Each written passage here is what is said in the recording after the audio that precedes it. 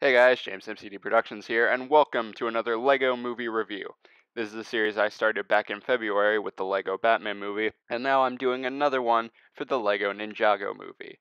Much like last time, this video will contain spoilers, so if you haven't seen the movie and don't want to be spoiled, then go see it because it's actually pretty good, and then come back and watch this video. But for those of you who have seen the movie, don't care about spoilers, or just love listening to the sound of my voice, first of all, oh, that's so sweet. And second, let's get right into the review.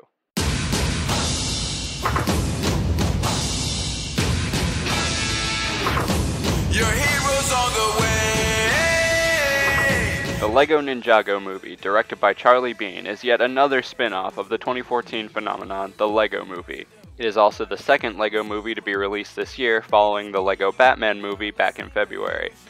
I think it's fair to say that Ninjago is LEGO's most popular original IP. Ever since this line of sets appeared on store shelves back in 2011, it's been adapted into a Cartoon Network show, video games, and even a themed section in both Legoland Florida and Legoland California. So it only seemed fitting that after LEGO Batman gave Ben Affleck and the Super Friends a run for their money, that these six brick kicking ninjas should get their own installment in the LEGO cinematic universe. But would this film live up to the previous LEGO movies? Well, we're about to find out. Before we start, there's a few things I need to get out of the way. Before I saw the movie, I watched through the first season of the Ninjago TV show to get an idea for the story, characters, etc. And although the director has said that the movie and the show are two separate universes, I will still be bringing up the TV show for comparison purposes. However, my thoughts on the show have no effect on my thoughts on the movie. I'm also going to be comparing this to the LEGO Batman movie because the two are pretty similar, being spin offs, focusing on one singular theme, etc. There were also some problems I had with LEGO Batman that I forgot to bring up in my review that feel right to bring up here. With all that said, let's start off, much like last time, with the story. Dave Franco plays Lloyd. It's Lloyd. Yeah, yeah, whatever. A typical 16 year old living in Ninjago City with his mom, played by Olivia Munn.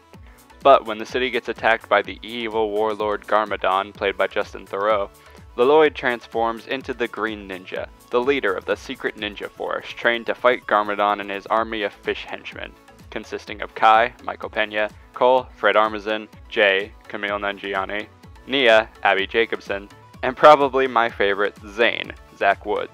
Zane, hey. Man, my mom is on my case all the time. She's all. And I'm like, lay off, mom. I love that guy. But there's only one problem. Garmadon is Leloid's father. Yep. This doesn't sit well with Leloid. He's tired of his dad constantly trying to take over the city, he's tired of being mocked by his peers for being the son of an evil villain, and he's tired of his dad not being there for him. So one day, he tries to wipe out Garmadon for good by using the fabled ultimate weapon, and in doing so unleashes Meowthra, a six-toed tabby cat that goes on a rampage destroying the city. So Leloid and his team must go on an adventure to unlock their elemental powers, defeat the monster, and rekindle the bond between him and his dad. This movie was always going to be a tougher sell for me personally, because unlike LEGO Batman, who on top of being an already established character both in his own universe and in the LEGO movie universe, but is also a well-known pop culture icon, these are new characters all with backstories that I'm not aware of. So the story had to not only introduce these characters to a mainstream audience, but it also had to be interesting and engaging. And it did. Sort of. While the story is fun and engaging and has much more heart than the LEGO Batman movie, it is very predictable. After the ninjas leave the city, you can pretty much guess where the movie is going. But thankfully, the relationships between the characters, the ones they spend time on anyway, are pretty well developed. As the bond grows between Leloid and Garmadon, and you hear why Garmadon hasn't been in Leloid's life, it's a pretty heart-wrenching moment. And at the end, when the two of them have their moment together, it's really sincere and sweet. There's also some live action bits in the beginning and the end of the movie, starring Jackie Chan, who plays Master Wu in the movie, and some random kid. The only reason I can think of that these scenes are here is to confirm the theory that all of these LEGO worlds, Gotham, Ninjago, etc., are still backdrops of the real world just owned by different kids.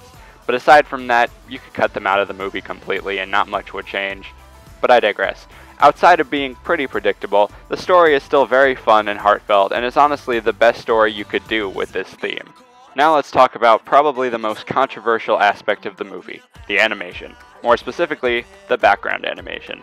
The design of this movie is actually pretty cool. It kind of reminds me of Big Hero 6, two polar opposite architectural styles that mix surprisingly well. Same thing here. Mixing ancient Japanese with modern architecture and technology is really cool. It's colorful, intricate, and full of Easter eggs and sight gags. It almost makes you wish you had a miniature version of this world to play around with and explore before you realize it costs $300, but I digress. The animation in this world is very cool. It has its own personality while still fitting into the LEGO universe. Being said, there is one glaring problem. Not everything is made out of LEGO. The water isn't Lego. The sand isn't Lego. The mountains aren't Lego. The plants aren't Lego. Pretty much the only things in this whole movie that are made of Lego are the characters, the vehicles, the buildings, and small objects like insects. This is a problem that I had with the Lego Batman movie, just on a much smaller scale. And yes, while it is a little annoying that in this Lego movie not everything is made out of Lego, I can actually forgive it for two reasons. One, they tried much harder than the TV show. And yeah, I know movie and TV budgets are different, particularly in animation, but come on, it can't be that hard to render tiny CGI bricks. Hell, the video game did a better job at this than you. And two, from a brick filmer's perspective, this design choice makes sense. Unless you're someone like Forrestfire101, you're not going to have every single Lego piece for every single thing on screen. So you have to be creative and use whatever natural elements you can find rocks, twigs, clay, all that stuff. Hell, the Brotherhood Workshop guys do it all the time and it looks awesome. But anyway, the character animation is about the same quality we've come to expect. They still keep the same LEGO textures and imperfections in the pieces, and of course, the frame rate is dropped to mimic stop motion. And as always, it looks great, particularly in the action scenes. Being a movie about ninjas, there's a lot of action, and it's beautiful to see. Seeing all these classic martial arts moves from several martial arts movies recreated in LEGO is pretty awesome. And apparently they actually brought in real stunt people for reference. So, outside of the fact that not everything on screen is made of LEGO, the animation is just as good as we saw previously. Now let's talk about the characters, because there is a bit to talk about. This movie being a team movie is a bit of a double-edged sword. On the one hand, this story and the way it's presented doesn't require development for every member of this team, but at the same time, you want to know more about these characters, and the way they're treated makes them feel more like dead space than characters. Anyway, the characters they have are pretty okay. They're basically LEGO mock-ups of the typical team dynamic. Kai is the goof-off, Jay is shy and insecure, Cole is strong and rebellious, Zane is the android trying to fit in, and Nya is Batgirl. It's literally the only way I can describe her character is she's just Batgirl. Ninja Batgirl. So yeah, the side characters in this aren't the best and are mostly used for comic relief, but at least the actors do a good job with what little they have to do. Like I said, Zane is probably my favorite. What kind of shoes do ninjas wear? Sneakers. Laugh out loud. Laugh out loud. Laugh out loud. Laugh out loud. It's just a shame they weren't as prominent or interesting as they could have been. But like all the LEGO movies before it, the LEGO Ninjago movie is first and foremost a comedy, and the comedy is pretty damn good. Although I should mention that if you've been watching the trailers for this movie, then you've probably seen some of the best jokes. But the good news is, the jokes they don't show in the trailer are pretty good. The LEGO style of comedy is what has stayed the most consistent throughout these films. There are a lot of fourth wall jokes, referential jokes, and a lot of Easter eggs and sight gags. Much like the previous movies, you're going to be watching the background a lot because there are so many jokes in the background that you will probably miss the first time. They also have a few references to the TV show, including a very quick appearance by the TV show's theme song, Weekend Whip by The Fold.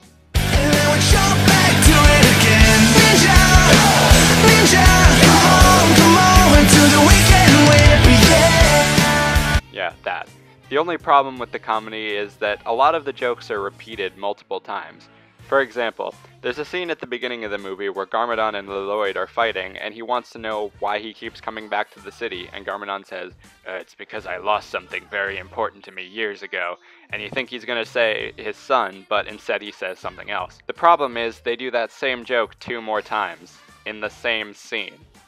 It was funny the first time. You don't need to overdo it. There's also a lot of rambly jokes in the movie. Some of them work, some of them don't. I know I'm being pretty negative, but I still laughed a lot in this movie.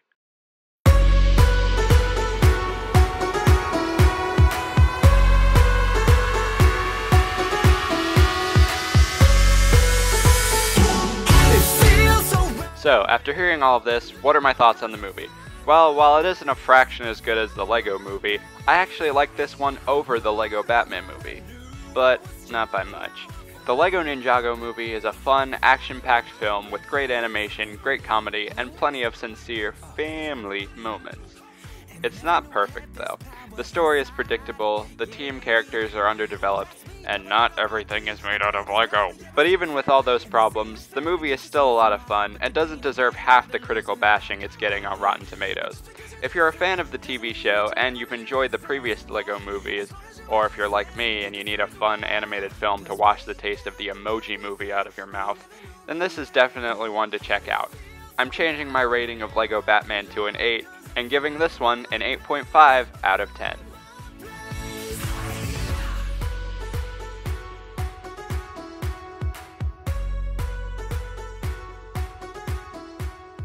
Thank you guys so much for watching these LEGO movie reviews. This is something that I've never done before, and I really wanted to try because I love talking about movies, particularly the LEGO movies, so it really means a lot that you enjoy them. And hopefully I'll be back in 2019 with a review of the LEGO movie sequel. Fingers crossed that'll be good. But anyway, if you want to check out my review of the LEGO Batman movie, click the box on the left. If you want to check out a LEGO Ninjago stop motion short that I made to tie into the LEGO Ninjago movie, click the box on the right. And to subscribe to my channel, click the little circle thingy in the middle of the screen. And don't forget to follow me on Instagram and Twitter to follow up with what I'm doing next. Thank you guys for watching, and I'll see you soon.